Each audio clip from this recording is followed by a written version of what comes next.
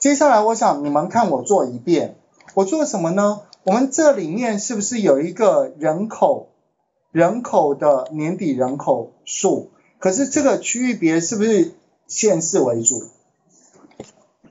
好，那我现在我假设不对，这个资料表还是你们必须要去做一遍。假设我现在我想统计出来各县市人口数统计，各县市人口数统计可以算吗？这就是我现在我要教的。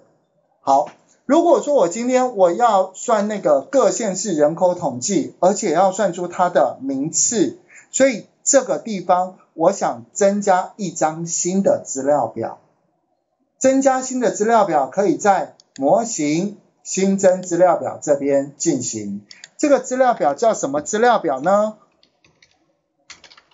这个叫做县市资料表，县市资料表，所以我要使用所有的 selected 这个函式。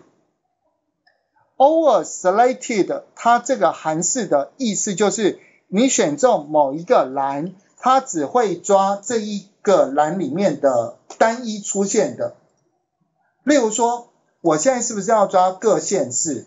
所以我可以抓哪一个资料表里面有各县市？请问我可不可以抓这个登革热里面的居住县市？那高雄市是不是会出现很多次？台南市是不是会出现很多次？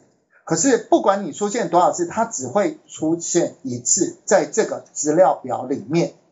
所以我等一下抓出来是不是二十二县市？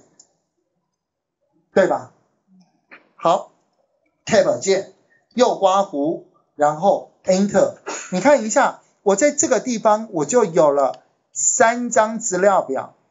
第三张资料表叫做县市资料表，居住县市里面就只有一个栏叫做居住县市。这有没有问题？没有问题哦。